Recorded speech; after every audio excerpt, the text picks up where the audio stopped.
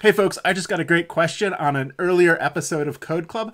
Uh, in that episode of Code Club, I was starting a brand new project and I was creating the project from a GitHub repository. Um, in other videos, we've also created new projects from within RStudio and then uh, the, the question remains as uh, Jamie Behan asks, I'm sorry, Jamie, if I'm mispronouncing your last name, what would you suggest doing if I already have an existing R project that I was working with that I want to tie to Git? It seems that the only options of new directory, existing directory, and version control are useful if you want to create a new project, but I'm not looking to create a new project. You know who else has an existing project that's not tied to GitHub? This guy. We're going to cover that in today's episode of Code Club. So yeah, we've been working for a few weeks now on this data from Ipsos, and I haven't been connecting it to GitHub at all. If you've been wanting to get the code, I've said, you know, go to the link down below in the description, take you to a blog post for today's episode. There you can get the code and the data. I've been doing that because frankly, I feel like it's a little bit easier for most people that are new to R. If you're new to R, well, GitHub might just be a little bit too much. Anyway, I think this is a good opportunity to answer Jamie's question. And then for the rest of you, or, you know, perhaps now if you're a little bit more comfortable with R, think about how you could then go in and work more with uh, GitHub and version control. And it's a great tool for making your code and your data uh, and your deliverables, your, your figures and whatnot, uh, more publicly accessible. And, that, and that's always a win. So again, we have in our project root directory here, uh, we've got our vaccinationattitudes.rproj file. I've got my CSV file, and then I've got my chartr, my Ipsos, and my makeover versions of R code, as well as the TIFF files that we've been generating. But this is not under any kind of version control. If I look in the upper right panel, there's nothing here that says Git, nothing that indicates version control. So to be able to connect what we're doing here in RStudio to version control, you need to have Git installed. And I've covered that in that other episode where if you've got Mac, um, it's pretty easy to get Git. The Macs typically come with version control. If you're using the Linux subsystem on Windows 10, it should be fairly straightforward to get Git there as well. So I'm going to assume that you can figure out how to install Git onto your computer. And so I'm going to be working within RStudio in GitHub to connect the two. So I guess you'll also need an account on GitHub. So I can show you where you can do that here in a few moments. What we'll do is we'll go into Tools, and in here I will then do a version control, project setup. This then brings me to my project options uh, panel, and your version control system, it might be set to none, um, but you want it to be set to Git. And so you'll then say yes, yes, you want to restart RStudio and it'll go through a little bit of rigmarole here. And now what you'll see in the upper right corner here is a tab for Git. And so now we have effectively initiated a Git repository in our project. So if you're used to doing things from the command line, this would be the same thing as doing git init period. It's like my favorite command in all the world because it means we're starting a new project. Well, we've been running a project. So anyway, what I can now do is I can go ahead and stage all of these files.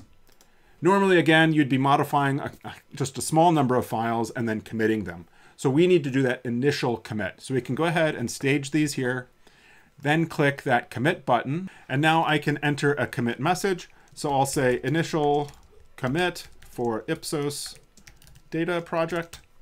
Go ahead and commit that. It's committed and everything is good and up to date. We no longer see anything in our Git panel. And so everything is fresh and up to date. In GitHub, you're gonna need to create your own account if you haven't already.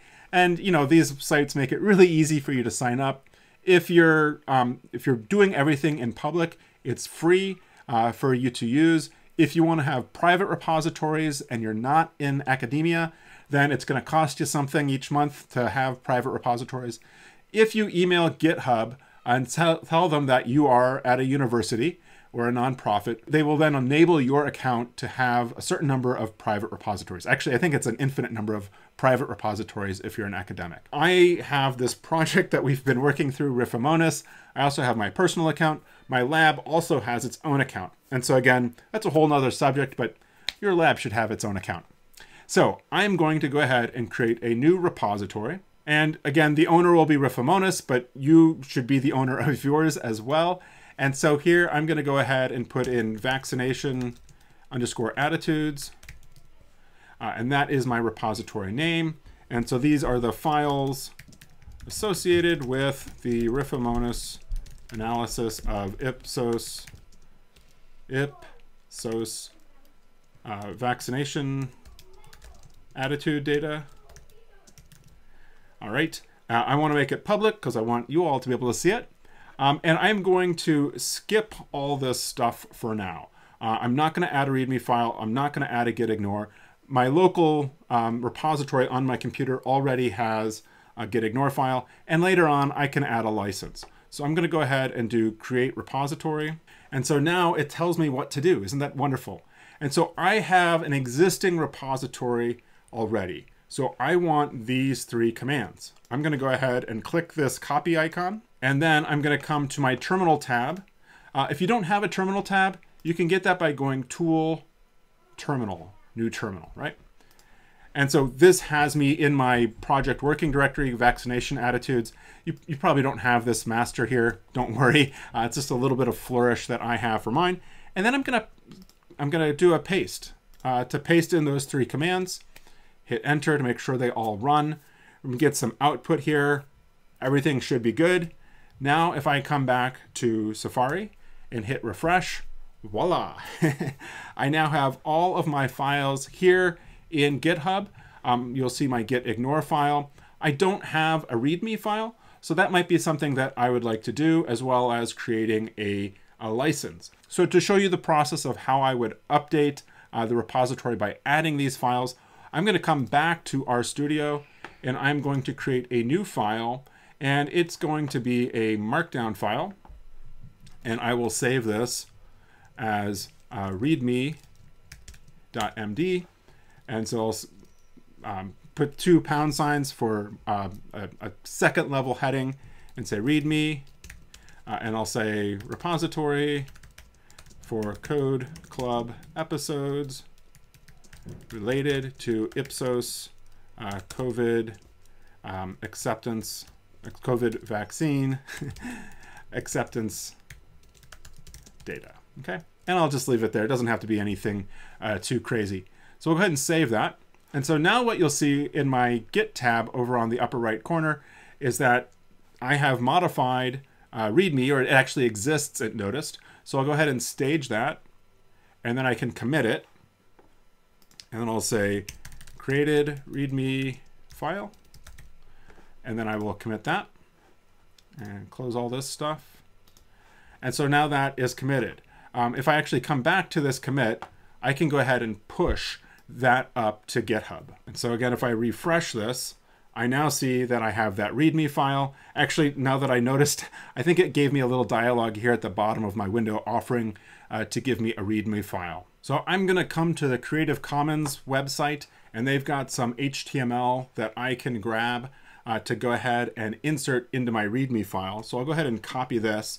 Uh, you can get this if you search for Creative Commons CC BY, um, and this should give me a little icon that I can put into my README file.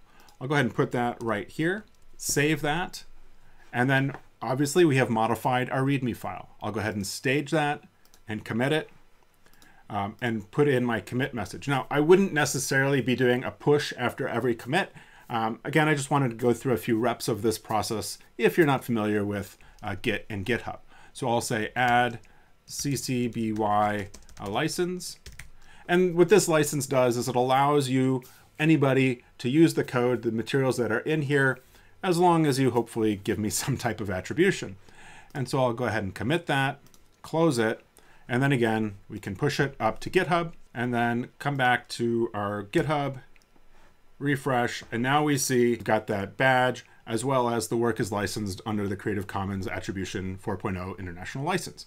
So that's in there. So more importantly, um, we've demonstrated how you can take an existing RStudio project and push that up to GitHub. Again, a little bit of a hitch is that you do have to do some work in the command line where you're taking the commands that GitHub gives you to connect your local repository to the remote, the GitHub version of the repository. You also need to have Git installed on your local computer, and you also need to have a account up on GitHub. Um, there are other vendors besides GitHub, like um, Bitbucket, I think, and Subversion and other things. But I find that um, GitHub is is wonderful for serving our needs um, and and is just really useful. And again, I cannot emphasize enough that it'd be wonderful if your research group had its own repository so that when you publish a paper, you can link back uh, to that analysis, uh, that, that repository that has the analysis that was done in the paper, so that people don't have to contact you personally by email to get information from you. They can go directly to the link in your paper, and that is a win uh, for research reproducibility. All right, go off, create your own GitHub repository, and link your projects up to GitHub.